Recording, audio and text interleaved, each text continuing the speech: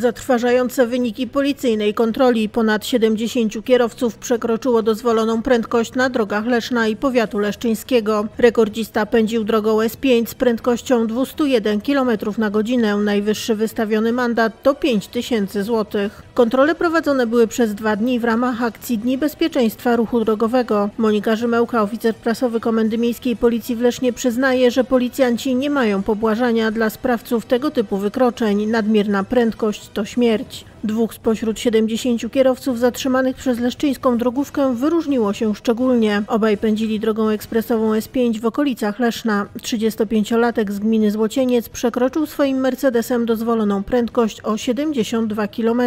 Jego licznik wskazywał 192 km na godzinę. Podczas kontroli okazało się, że podobnego wykroczenia dopuścił się także zaledwie dwa miesiące wcześniej. Został więc potraktowany jak recydywista. Przepisy przewidują w takiej sytuacji karę w postaci postaci podwójnej wysokości mandatu obowiązującego za takie wykroczenie. 35-latek musi zapłacić 5 tysięcy złotych. Dodatkowo otrzymał 15 punktów karnych, tym samym przekraczając dopuszczalną liczbę 24 punktów, więc zatrzymano mu prawo jazdy. Jeszcze szybciej jechał 29-letni mieszkaniec gminy Odolanów. W momencie pomiaru wideorejestratorem prowadzone przez niego BMW pędziło 201 km na godzinę, czyli o 81 km więcej niż prędkość dozwolona. Mężczyzna został ukarany mandatem w wysokości 2,5 tysiąca złotych oraz 15 punktami karnymi. Policja przypomina noga z gazu. Nadmierna prędkość jest przyczyną najtragiczniejszych wypadków drogowych.